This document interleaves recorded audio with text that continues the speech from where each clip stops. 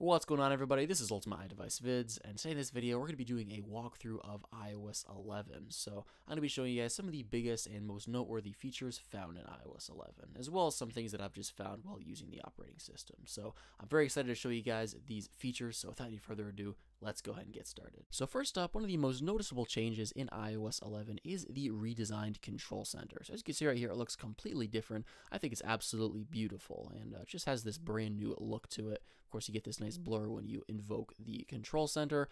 And of course, there's much more than meets the eye here. It's not just a visual refresh. There's a lot new functionality-wise as well.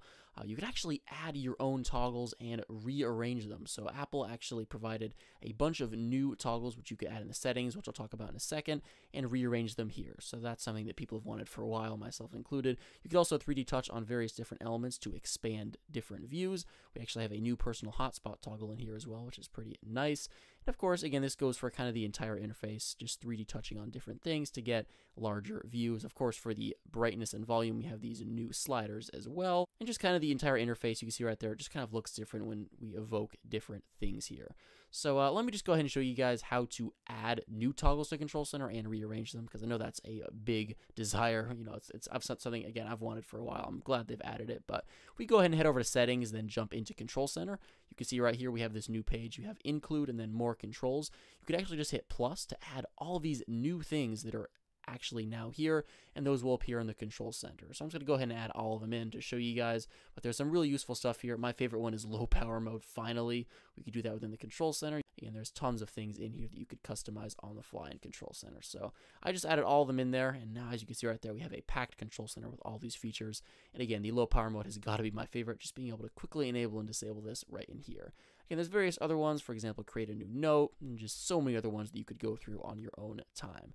And to rearrange them, you just drag these little handles up or down like this to rearrange, and it will take an effect. So I'm just going to move the low power mode to the top, and now as you can see right there in this bottom section, it is the first one that shows up. Unfortunately, you can't customize the top, it's just the bottom area, but I'm satisfied with that. You know, it's definitely enough customization for me. Next up, we have Siri. So Siri got some great improvements.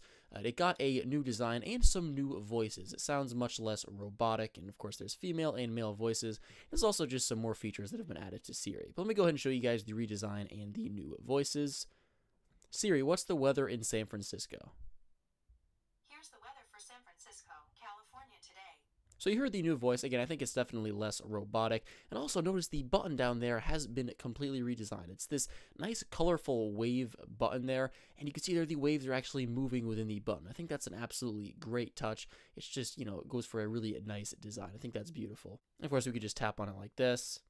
Hi, Siri, to uh, ask another question, just like that. So next up, let's talk about the lock screen widgets notification center situation. So iOS 11 has basically simplified that. You know, of course, on our lock screens, uh, we're used to having the lock screen page in the middle. We slide over, we have the widgets, we slide to the other side, and we have the camera. However, once you start using your device, you know, in the past, things were a little bit confusing. There's a lot of duplication, but now, uh, basically, whenever you pull down at the notification center, as you can see right there, it's basically the lock screen that it evokes, and it will show you notifications here in the same, you know, graphical design as the lock screen. Because of course normally in the past how it would work was it would show you notifications the notification center and the lock screen but, but they look slightly different. But of course now everything's just simplified. It all looks very similar you slide over you still have your widgets of course and of course you get this again same design slide over you even get the camera application right within the notification center just to kind of simplify things and make everything kind of unified so next up we have some new app icons of course you have the new app store icon the new itunes store icon as well and the calculator icon right there there. Now, the App Store and Calculator themselves have both changed, and actually, the App Store in particular got a ton of you know focus from Apple. Uh, it's basically the app itself has been completely redesigned. As you can see right here, when you open it up, it's completely different. It actually looks very similar to the Music app. Uh, it basically has the same design language in there, and again, it's basically been completely revamped the way that it you know works. Basically, the different tabs at the bottom, the design language, it's all brand new, as you can see right here, and you know. I know a lot of people don't like it, a lot of people do, uh, but it is what it is, and it's definitely a refresh to the way that the App Store works. Of course, you get your updates tab, search, everything like this. There's also a new app page as well, so let me just go ahead and search for Twitter real quick, and we'll tap on a result. You can see right there the app viewing page looks completely different as well. It's a refresh, so definitely a lot of changes within the App Store app. The calculator app has also been redesigned as well. As you can see right there, it looks very different inside, just kind of the overall feel of it.